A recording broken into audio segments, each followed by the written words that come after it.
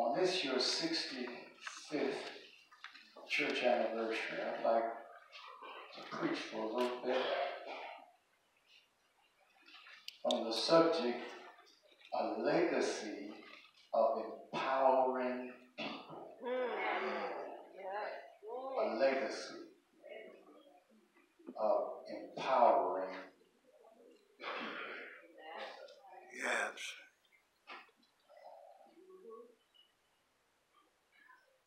There are s- two schools of thought uh, about when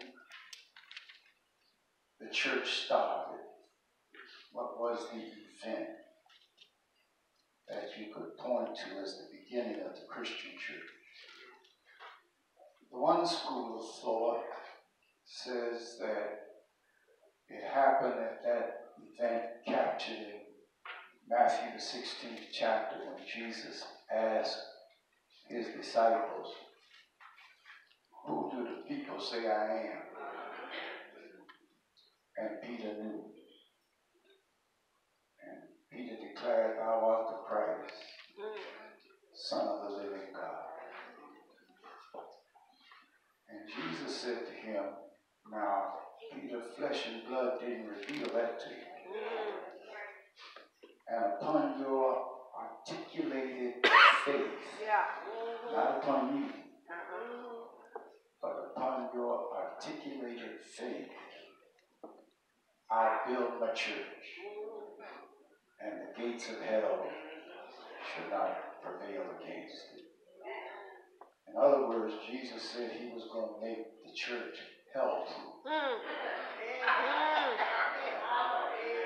That's, that's the first school of thought. The second school of thought says that the church began when the Holy Ghost was sent. And when the Holy Ghost came in contact with people mm. that belonged to Jesus, mm. That was the beginning of the church. Um, Now, in both instances, he's talking to the same crowd. But I take my stand with the second school of thought that the church began with the sending and the receiving of the Holy Ghost. Amen. Amen. And so, in this passage of Scripture, Jesus is talking to the founders of the first church. These are the founding members of the church. And Jesus shares with the founding members of the church his vision for the church. A church has to operate by vision. Yes, sir. Yes, sir. And if a church isn't operating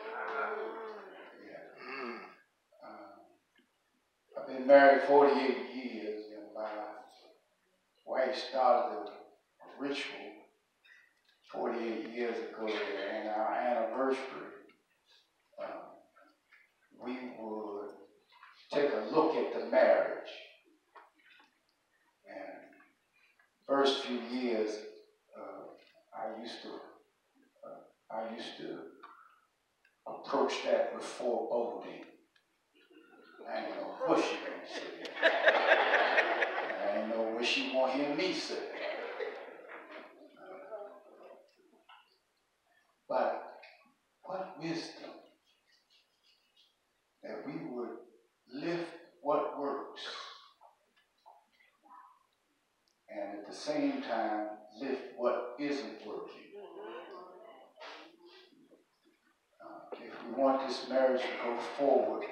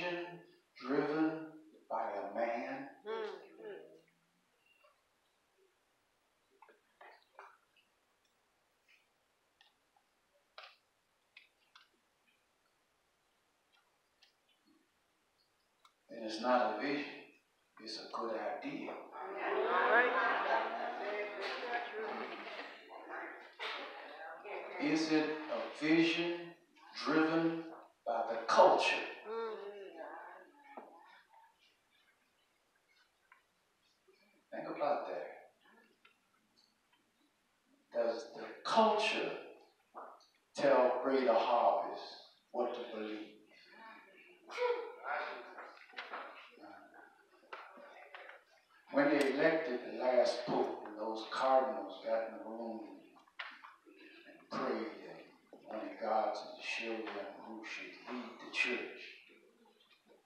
Uh, I watched one of the networks had a cardinal on television uh, interviewing the cardinal while they were voting and while they were waiting. And uh, the, broadcaster said to the cardinal, What is the Catholic Church going to do? Do you have any idea how out of step you are with the people? If you look at the polls, they don't believe half that stuff you believe. It's out of step, it's out of date. And the cardinal said, I need to apologize. I need to apologize to you and the viewing audience because something I said misled you.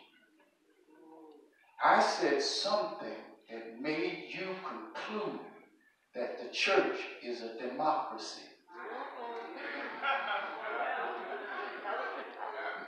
He says it's not. Come on, preacher. We don't take a poll and wait to hear what the people say. Say. He said our authority, our authority comes from a higher Yeah. source. Sometimes when the people in total see it's left, it's really right.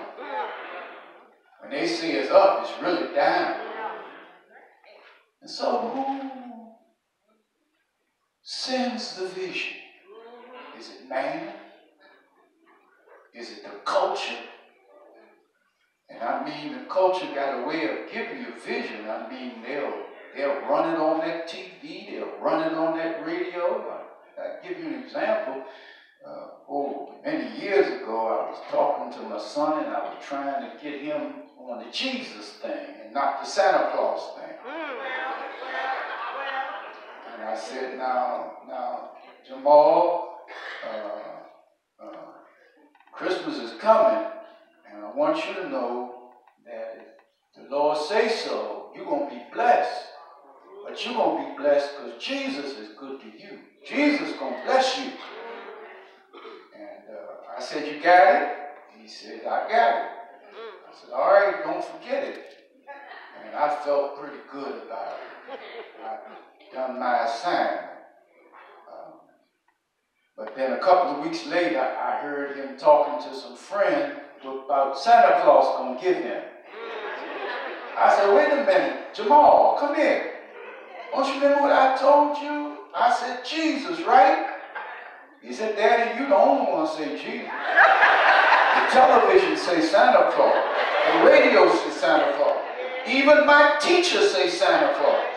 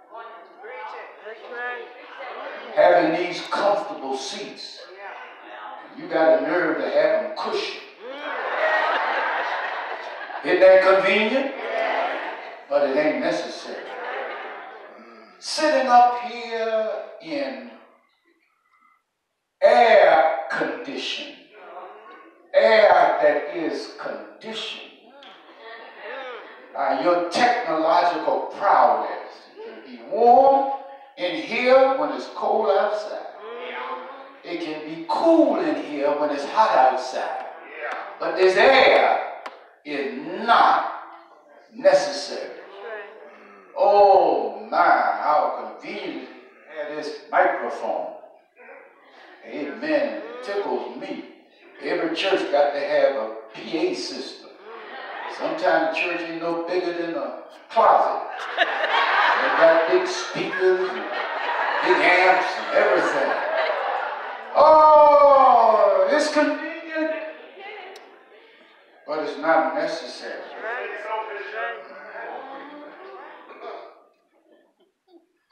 When I was in Africa, Bishop there, one of my pastors who was hosting the annual conference said, You're going to be excited, Bishop, when you get there.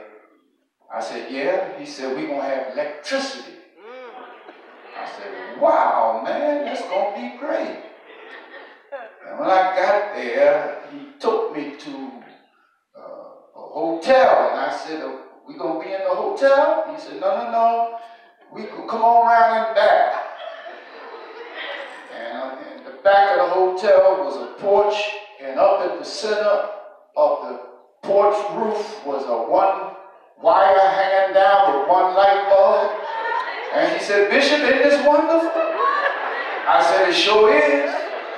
But he didn't even need to have that one light bulb. I've seen him worship God under trees with no pews. It's not necessary.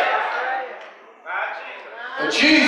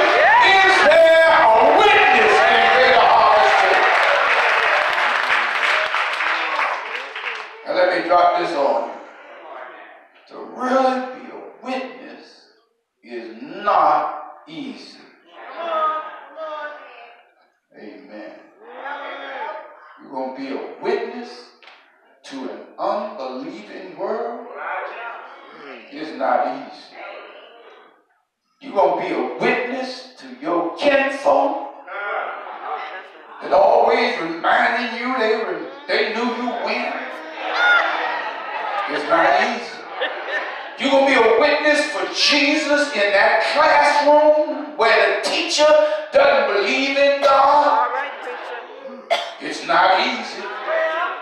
You will going to be an authentic witness when you are surrounded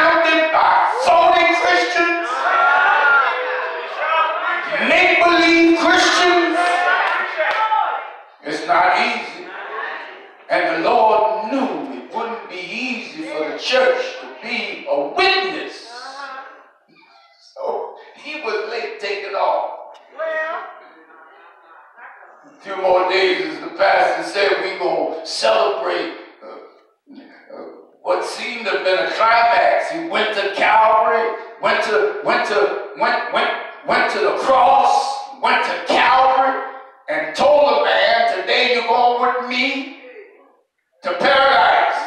But then he made a mistake. He looked around at the church and said, "Oh, I can't take off yet." They need something I haven't given them yet. Hallelujah. And in the context of this text, he said, Come here. You need something. Praise the name of our God. You need it.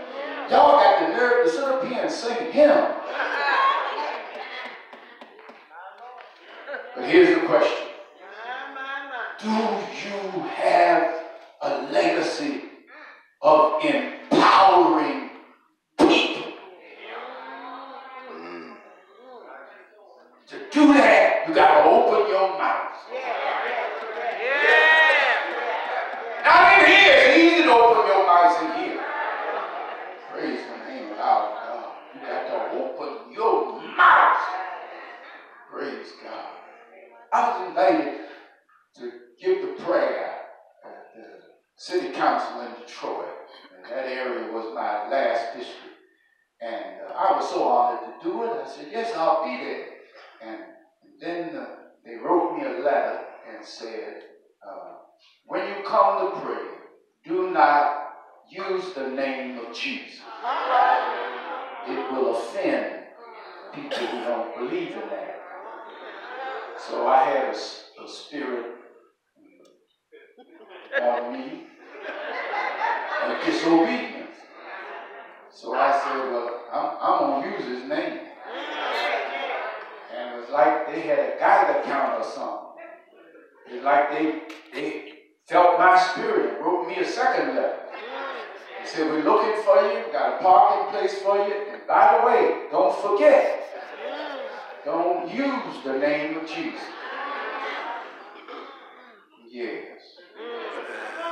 So you can you can you can pray in the name of the great one. You can pray in the one name of the all-seeing power. You can pray in the name of the God of us all. But don't use the name Jesus. I went there with a spirit of disobedience. But when I got there and saw the poor city councilman who invited me, I was feeling weak. And I said to him, Now let me be honest with you. If you take me out there and ask me to pray, I'm going to pray in his name. I said, I don't send mail that's not addressed. All right.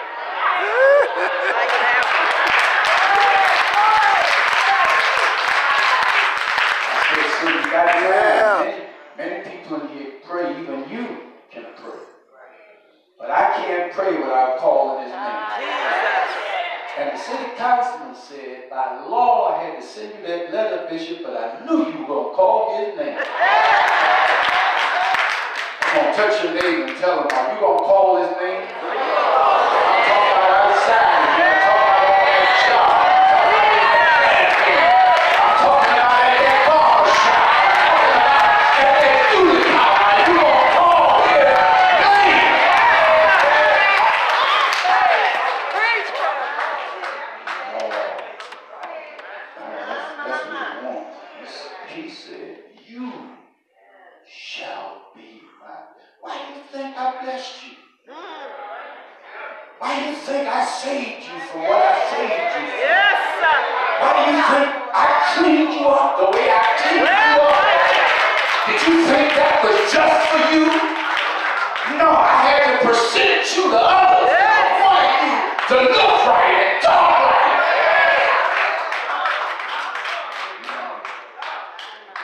Student out at Morgan University. I started preaching young. I started preaching at 18. And uh, I was a student out there, and then the student union, and uh, they decided to play church. And somebody got up on the table, and they started acting like a buffoonery preacher, and, and they were yelling and jumping up and down and all that. And I was a little preacher, and I sucked my teeth and walked out. my sanctimonious, self-righteous self. I went on home and everything was pretty good. I, I, I, I separated myself from them. Went on through the day and that night I turned the light out and put the covers over my head and the voice said to me, as clear as I'm saying to you, are you ashamed of me? And I sat up in the bed. Are you ashamed of me? I said, no, ashamed of you. Today, I needed a witness. And you walked out. I said, Lord, if you give me another chance, I'll never walk out again. Come on, I'm looking for some witnesses.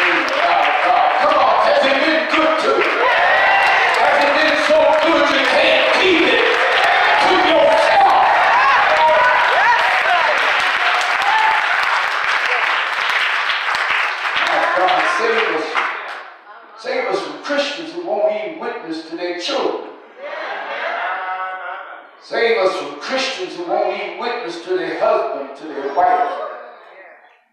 Oh, why do you think you got the Holy Ghost? That Holy Ghost ain't just to send chills down your spine.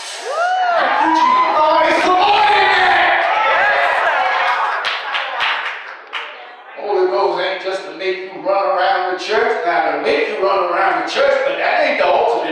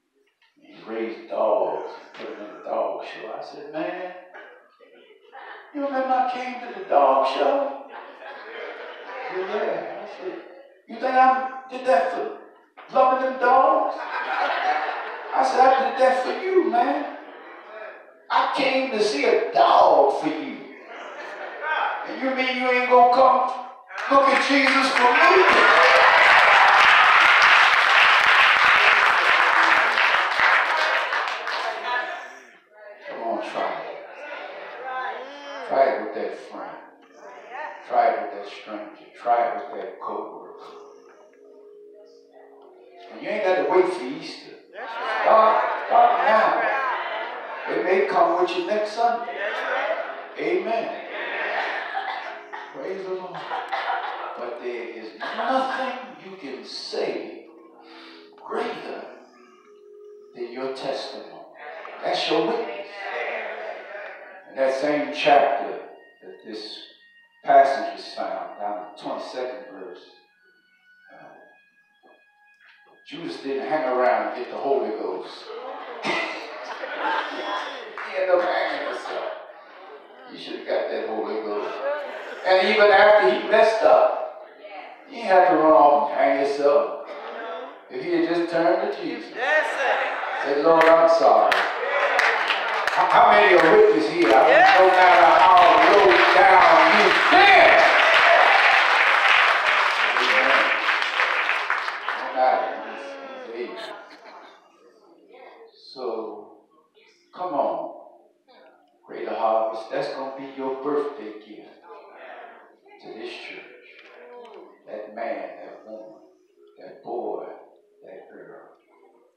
I'll share this and then I'm through.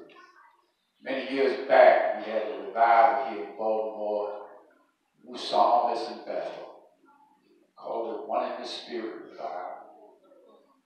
And uh, three, four weeks before the revival, we started going out in the community witnessing and trying to lead people to Christ. Before the revival opened, there were a thousand.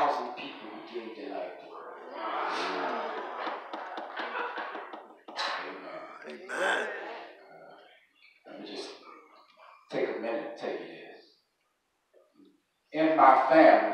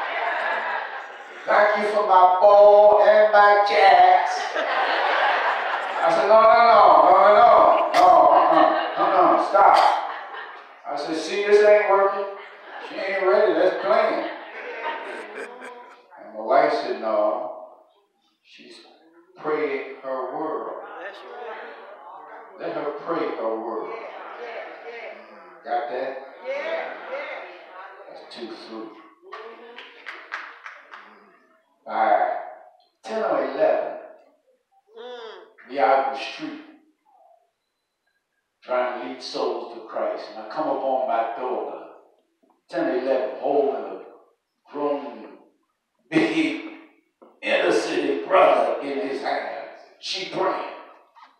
And he's standing there